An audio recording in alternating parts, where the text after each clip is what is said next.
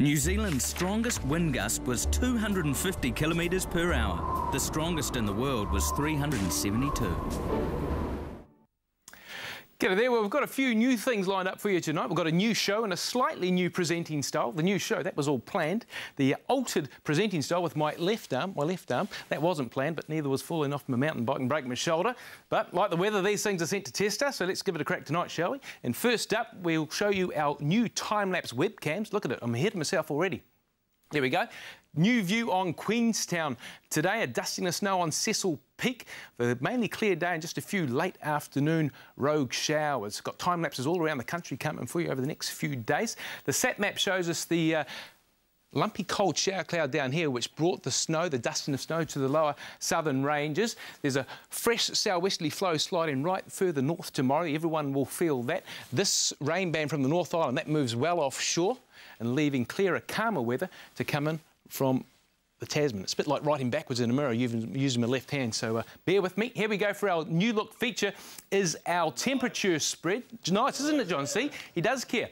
Uh, along with the wind arrows and our colour scale out through there, we'll be able to show you how the uh, day is going to feel. Just a quick glance, and there's no surprise that there's plenty of cold wind and uh, temperatures around the South Island tonight. I'll just click that because it's not moving little clicker things too. It's going to be the little things tonight, so bear with us.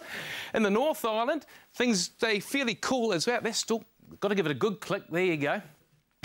Should have practiced in my time off, three weeks off and still can't click. In the North Island, it's going to be even cooler through there, not warming up much at all. Let's have a look in the South Island and uh, a few fringe showers out through here, highlighted by our new puddling effect. Along with the colour scale, that's going to show the intensity and spread of the rainfall, the forecast rainfall with a lot more accuracy, but unfortunately, imagine, there's not a lot of it anywhere for a fine fresh day in the South Island tomorrow. In the North Island, cooler and clearer situation up through here as well.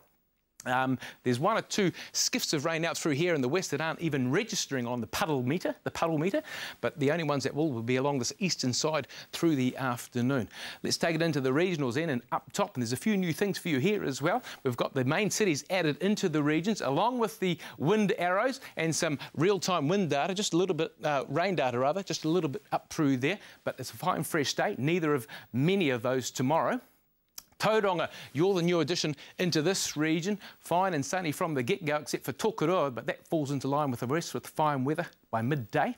Up and over the ranges we go, and uh, the cool southwesters keep a few showers down along these lower towns for starters, but finer through the day. Things getting a lot better. Wind, the leaning wind letters, they've all gone. We've now got uh, these bars showing the wind strength, none for calm, one for light, and two for moderate. You'll get used to it. You'll see a pattern developing as we go up over to the other side. And uh, Wellington and Wanganui, they're the only showery spots for starters tomorrow morning. But again, the day gets brighter and clearer as it goes. A nice day to welcome in Kapiti Coast into the fold.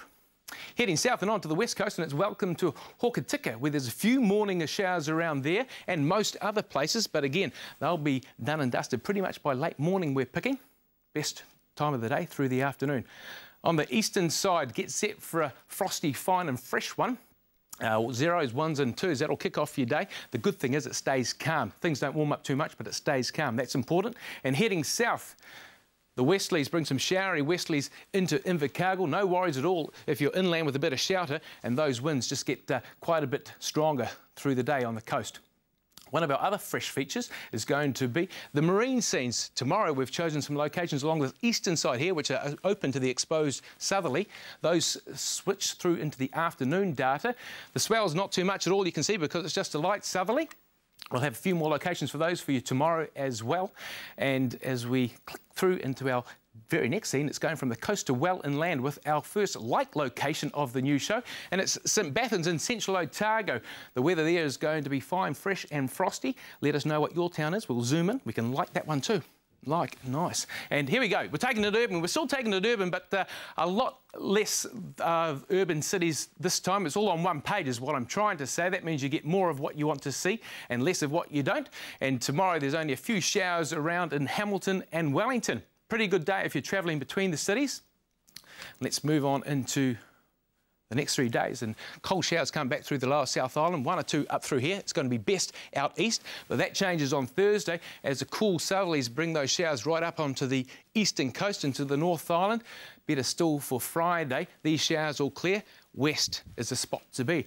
Whew, I feel like a cup of tea and a lie down. Um, thanks for bearing with us. We'll have another situation to show you tomorrow. Mike and Hilary. Thank you so much. Well done. Yeah.